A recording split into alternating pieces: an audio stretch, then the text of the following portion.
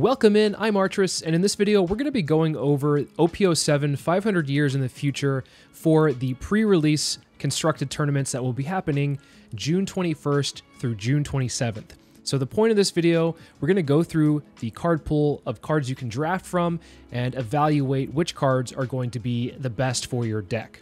We're going to be doing this video a little bit differently than normal. Now, normally I will go through and evaluate each and every single card and give it a rating of F through S based on how good I think it is for your deck in a pre-release tournament environment. However, I think what would be a better use of your time is if I just go through and talk about the general mindset of approaching a draft like this and what cards stand out in those categories. But before we go into that, if you find anything in this video useful or informative, please make sure to drop a like and a sub. It helps out the channel immensely, and I cannot thank you enough for the support. Additionally, if you'd like to talk about the One Piece card game outside of the YouTube comments, please join the Discord. The link is in the description below. We have a community of people from new to veteran players that love playing the game and love talking about it. I'd love to have you there. So for this pre-release tournament that's coming up, you're given six packs of the new set, and you have to build a 40 card deck out of it with a leader of your choice. Uh, whether that leader is from an older set or a newer set, that is up to you.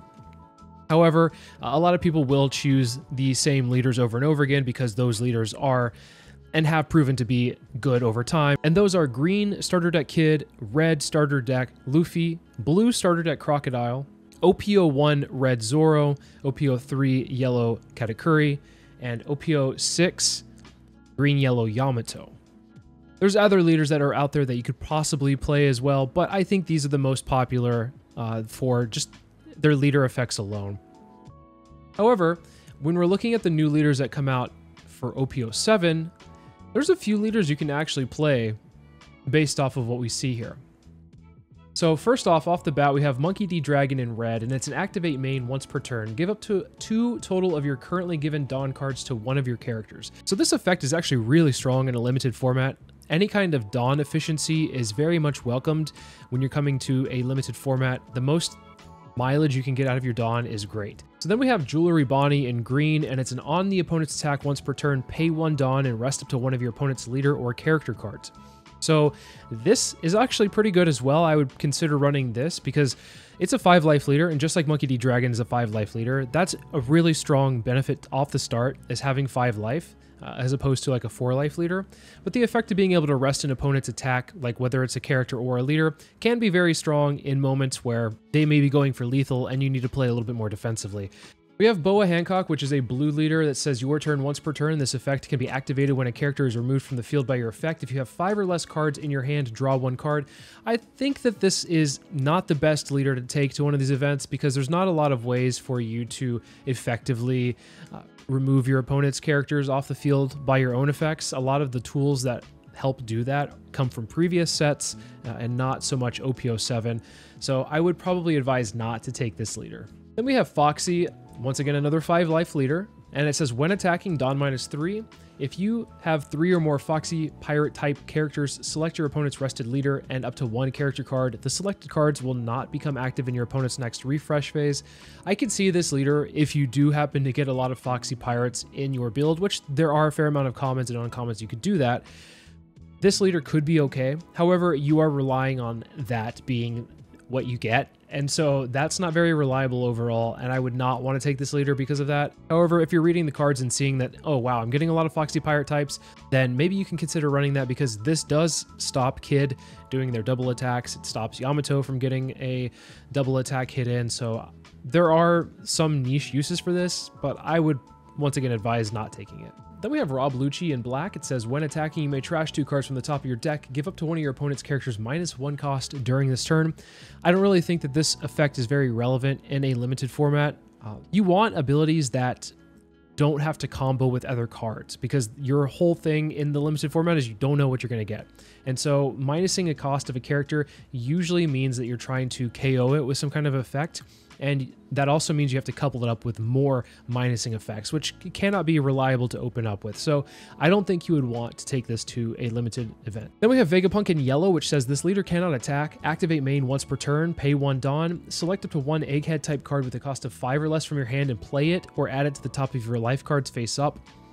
Once again, as with Foxy, with Vegapunk, if you're looking to build this leader in a pre-release format, you're to have to really hope that you open up a lot of egghead types, so a lot of yellow cards. Uh, and if you do, then that's really great, but I think that the consistency of this deck, the fact that it's a two-life leader, uh, it's not good off the bat and then it cannot attack. This is probably one of the worst leaders to take to a limited event just because you do need a lot of the egghead support and it's a very specific archetype that needs very specific cards. So now that we've talked about the leaders, let's talk about what is the mindset behind drafting a deck of 40 cards in one of these pre-release formats. I like to use an acronym GRAPE to talk about the hierarchy of what you're looking to get into your deck. And GRAPE stands for game winners, removal, advantage, protection, and everything else. G game winners, pretty self explanatory. These are your bombs. These would be like the S tier cards in previous videos. Uh, these cards will basically win you the game on the spot, or if not within the next turn or two, because they apply either a lot of pressure, a really good on play effect, uh, or require a lot of resources from your opponent in order to stay alive. And so in OPO7, we get a handful of what I would consider bombs to add to the deck. So these are cards that if you open them, absolutely add them to your deck. First up, we have Issho in black. This is a reprint from OPO3, and it says DON times one, your turn. All of your opponent's characters get minus three to their cost. That's not the important clause. The important clause for me is on play. If your opponent has six or more cards in their hand, trash two cards from your opponent's hand. So in a format where hand size is very important and your resources are very limited, there's not a lot of card draw, if you can snipe two cards from the opponent's hand because maybe they're playing defensively enough or they're taking hits, this is a absolute bomb. It's a huge threat. On top of that, the 9,000 power body is really hard for an opponent to counter out of. It requires three cards at least in order to protect yourself from that swing. So Issho for me is a must include. Then into the new cards from OPO7, we have Monkey D Dragon in red, and it's an 8 cost, 9000 power body that says Rush. And on play, give your leader or up to one of your characters up to two Rested DON. The Rush on this body is alone enough for it to be a game winner S tier card. Uh, the on play effect, also being able to give Rested DON to your leader or your characters and pump them up, is really strong as well. So, just a lot of pressure in that turn when this is dropped. Then in blue, we have Mihawk, and this is not really what I would consider a bomb most of the time. However, blue doesn't really have much eh, as far as bombs go in this set, but I do think that the stat line alone, being 10,000, power is really strong. Being able to play this on 8 if you're going even, uh, that's really hard for your opponent to answer. And on top of that, it replaces itself by drawing a card. So all of that with the stat lines alone, I would actually put this in a bomb S tier, but I could see where people might think that this is not necessarily a bomb in that regard, but it's probably the weakest of all of the bombs we'll show today. Then we have Stussy, which Stussy is a 9 drop, 9000 power body, and on play you may place one of your characters into the trash, KO up to one of your opponent's characters. The reason it's a bomb is because it has removal built into it, unconditional removal by the way, so it takes care of anything, and it puts a really big body on the board. So those two things combined make this a really good card to add to your deck. Then we have 8 cost Sabo, which is a 9000 power body.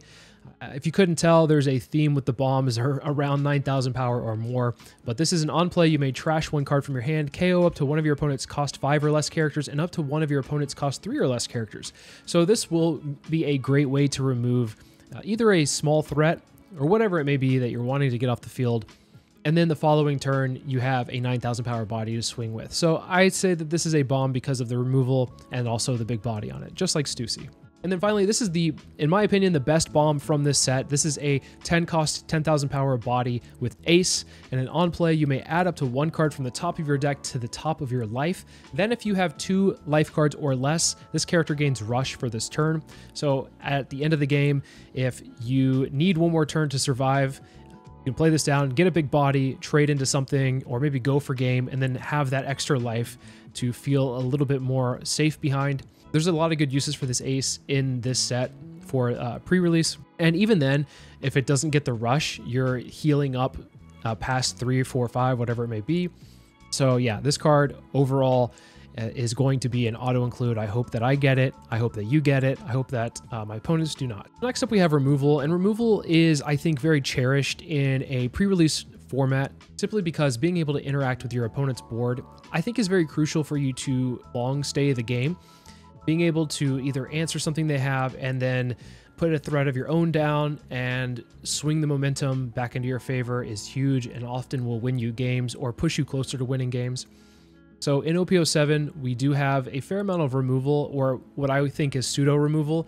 Uh, we do have to start off with Onami, which is a reprint from OP06, and this removal is a little bit untraditional. The banish you can consider removal, I guess, but what I'm looking at is the trigger, KO up to one of your opponent's five cost or lower characters. Now, this is not always reliable removal, but it is removal nonetheless, and you might want to include this if you get it. If you get it, congrats, it's probably one of the most expensive cards in the set, but if you want to play with it and put it in your deck and hope to get the trigger with it, then I say why not. Then into the OP07 cards, we do have Ein, which is a 7 cost 6000 power body. This is a little bit of an unconventional removal. It's an on play set up to one of your opponent's characters' power to zero for the turn. So if an opponent has swung with a big body, now it is a zero cost body and you can swing your leader into it or maybe a smaller character into it and remove a big threat. So that is why I consider this more so a removal piece, even though it doesn't necessarily say KO something on the field. And the same thing with Outlook 3. Uh, this is an activate main. You may place this card in the trash, give up to two of your opponent's characters minus 2000 power for the turn. So this is basically like an Otama, but for two characters. Uh, even though you're never going to do anything with this beyond just playing it down, this is one of those cards that I think you should add one in your deck because you can, just for two DON, swing into something and remove it a lot easier than you would have by stacking DON onto something. Then we have Carina, which this is also an unconventional removal piece. It's a blocker with an on play, give up to one of your opponent's characters minus 2000 power for the turn. So same thing as Outlook 3, being able to reduce the power of something makes it much easier to trade into it. And I consider that more so a removal piece than just a flat out, oh, KO or bottom deck or whatever it may be. So, so that is something to consider uh, when you're looking at removal. And then Blue Jam is actually just a removal piece where it's DON times one when attacking, KO up to one of your opponent's characters with 2000 power or less. There are are a few blockers that are around that power level that this could be able to KO, so that is something to consider to put into your deck. The stat line's not awful, and it is a 1k counter. Then we have Bonnie and Green. Now, this is not necessarily removal in the traditional sense of removing it from the board. However, Bonnie is one that on play, up to one of your opponent's rested characters or DON do not become active during their next refresh phase. And so what this does is it can tap down and basically remove from the game for a turn a bigger character that might have been a threat for you. So this buys you a little bit of time, even though it's not necessarily removing it from the field uh, permanently, it does help you remove it from the field for one turn at least. And same thing with Boa Hancock. This is a better version of Bonnie in my opinion. It's a 6 cost 8000 power body. On play, up to one of your opponent's characters other than Monkey D. Luffy cannot attack until the end of the turn, then place up to one cost, one or less on the bottom of the its owner's deck. So the reason why I think it's a little bit better than Bonnie is the stat lines are better than Bonnie, and of course being able to stop an attack is also very good, and that in my opinion, is a form of removal. I feel like I'm having to defend myself here, but I there's not a lot of KO effects in this set, as you can probably see. And I think these are the best things that you can get besides that, because it does uh, swing tempo back into your favor. Then we talked about Stussy uh, in the bomb section. Uh, this is just a flat out KO a character, unconditional, just trash one of your own and then KO someone else's. We talked about Sabo. Sabo is the 8 cost 9000 power body, being able to trash a card and then KO up to a 1 5 cost or less and 1 three cost or less on the opponent's side of the field. So once again, just removing things from the field, very good. Then we have Jinbei, which this is a interesting removal that comes from life with the trigger. Return up to one four cost or lower character to your opponent's hand, then add this card to your hand. So if the card is already going to your hand, might as well use the effect with the trigger. So that is kind of a removal in itself. And then we have Monkey D. Luffy in yellow, which is a 5 cost, 6000 power body. And it says activate main, you may place this character in your trash. If your life is 2 or less, KO up to one of your opponent's cost 4 or less characters, then draw one card. So for 5, you're removing maybe a blocker or something that could be an extra threat on the board. And then the trigger is also KO up to one of your opponent's characters, cost 4 or less. So the uh, basically the activate main, but on the trigger without having the stipulation of life. And then we have York in yellow to round us out. It's a 5 cost 6000 power body. On play, you may add the top or bottom card from your life to your hand. KO up to one of your opponent's cost 2 or lower characters. So once again, if there's a blocker on the field around 2, which I think there are one or two in the set, that this will be able to take care of that. Then for A, we're talking about advantage, but what does that mean? Advantage to me is any kind of card draw or any way to be able to stack your deck in a way that you can draw what you need when you need it. And so there are a few cards in this set that allow you to do that, and I think these cards are very important. Once again, if you can get these cards in your deck, absolutely do so. Uh, they, I think you would want to find removal before any kind of card advantage, but maybe that's up to you. Maybe you value drawing cards a little bit more than other people. I know I do for the most part, but I think removal and advantage are interchangeable as far as like the hierarchy of like what you would like to get. So let's talk about what we see in OPO7. We have Doflamingo, the OPO1 blocker reprint. Uh, this is a very good card because one, it's a blocker. Blockers are great. We love blockers here. And then on play, look at five cards from the top of your deck and place them at the top or bottom of your deck in any order. So stacking your deck is very useful. You can stack your deck to know what you're going to draw on a certain turn, and that is very nice to have. Or if you don't like what you see at the top five, you can always put it at the bottom and then go from there. Next, we have Edward Weevil, which is a 4 cost 5000 power body. DON times 1 when attacking. Look at the top 3 cards of your deck and then place them in any order you like at the top or bottom of your deck.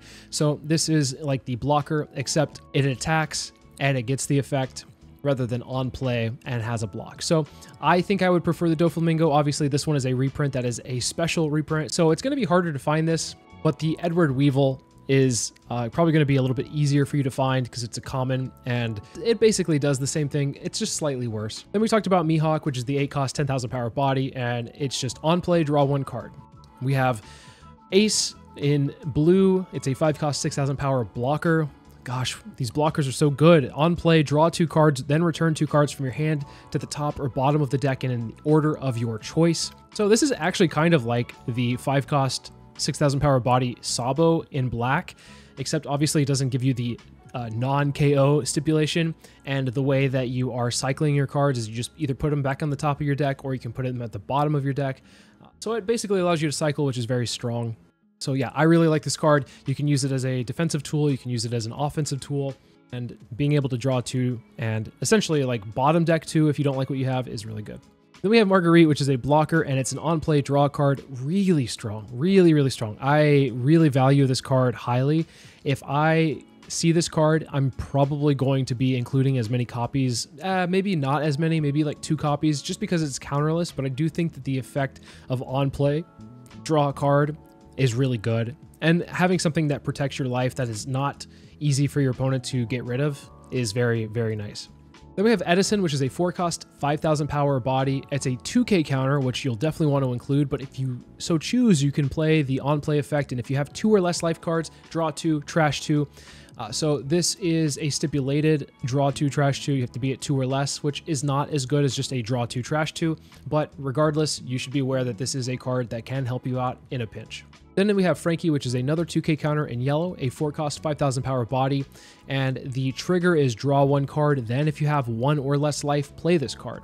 So, the draw one card is really good if you have a handful of 2k counters already, or you feel like you need to be able to find a threat. You can use this and draw a card off of the life. And if you're at a low life total, one or less, then it comes out onto the field, which is nice to have an extra body. Then we have the 5 cost Luffy in yellow, which we talked about as a form of removal, but the part of the removal when you activate it on the main, the last part of it is draw a card. So technically, this also gives you a little bit of card advantage while also having removal built in. And then the P for protection is basically just any kind of 2k counters or blockers, anything that will help you stay alive and protect yourself from threats that are coming your way. And there are quite a few 2k counters in this set. Uh, red has Moda, green has Otama and Popog, blue has Crocodile, Law, Boa Sandersonia.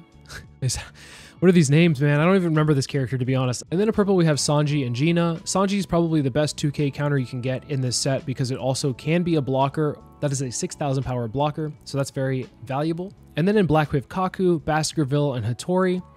Yellow, Usopp, Edison, and Franky. I believe I got all the 2k counters. If I missed any, let me know. But yeah, for the most part, if you see a 2k counter, please add it to your deck. Uh, you need as many as you can to survive. Anywhere from 8 to 10 is usually good, but in a limited format, you take what you can get. And then the second part of protection are the blockers, and we covered quite a few of these already uh, with some of the other effects, but let's go over all of them regardless. In red, we have Carina, Tanaka-san. By the way, this is a very strong blocker because it is either one that you can play Uh, from your hand, or it comes from life with the trigger. So that is very nice to see. Then we have Baccarat, which this is also a really, really strong form of protection because not only is it a blocker, but the on opponent's attack once per turn, trashing one card from your hand and giving your leader or character plus 2000 power for the battle.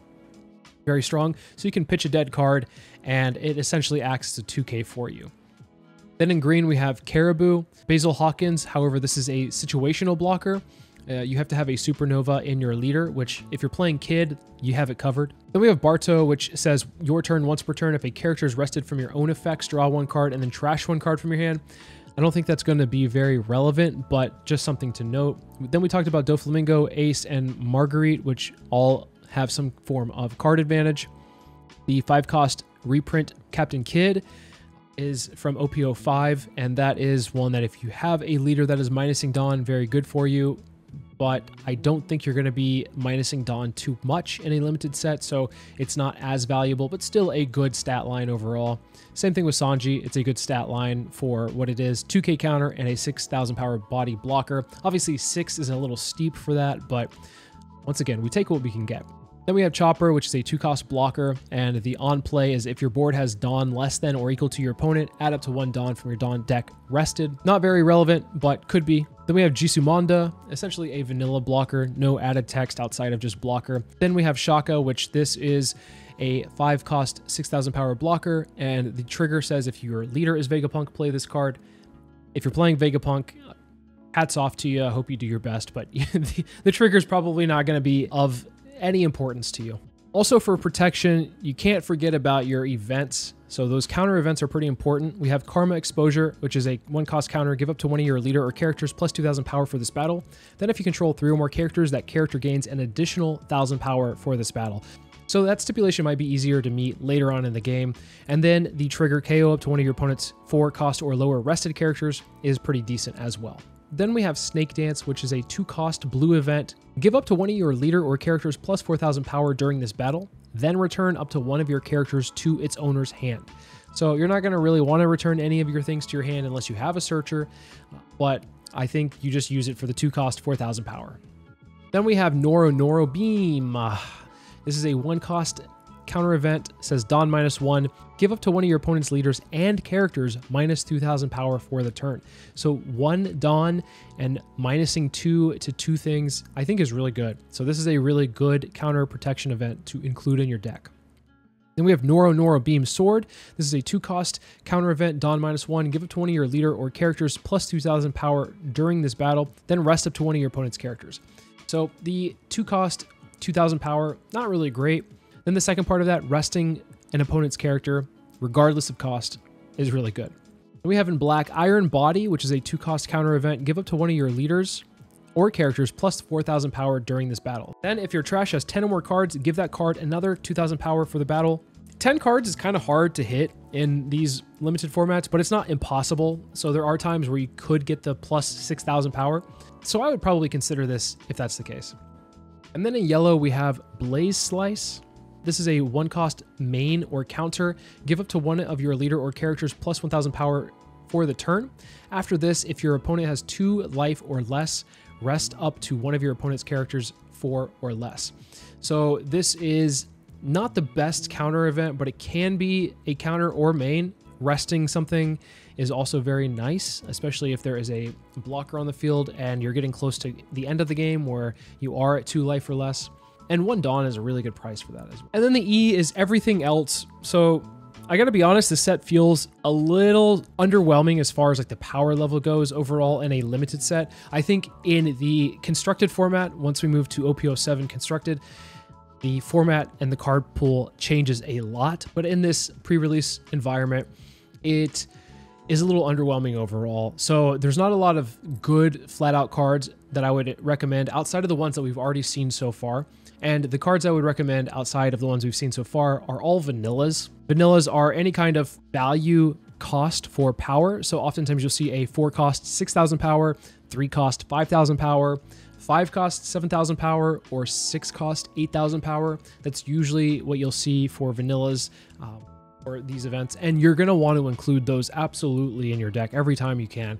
Uh, those cards are very strong. Uh, the big bodies, even if they don't have effects, doesn't matter. Just the pressure that they apply is really good. So we only have a few of these in OPO7. We have in red Dice, Jinbei, and Scratchman Apu in green.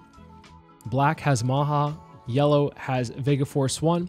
But the good news here is that these are all common, so these are very easy to find and you can stack your deck with. I didn't really remember seeing any 3 cost 5000 power or 5 cost 7000 power bodies, and that's okay. There's a lot of 5 cost 6000 power, 4 cost 5000 power bodies in this set, but uh, if you do come across these vanillas, make sure to add them overall. And everything else that we've seen so far, you should definitely add. But outside of that, uh, I would leave it up to your discretion. So there you have it. We're trying out a little bit of a different format for the OPO7 pre-release guide. Hopefully this is a lot better for you guys as the information is a little bit more concise as opposed to, I don't know, like an hour, hour and a half of going through cards. Anyway, if you enjoyed this, please make sure to let me know in the comments. Uh, hopefully you do well in your pre-release. Let me know how you do. I'd love to hear how all your pre-releases went. Let me know what you opened and also how you guys did at the pre-release. Hopefully this guide helps you all and thank you so much for watching. I'll see you guys in the next video.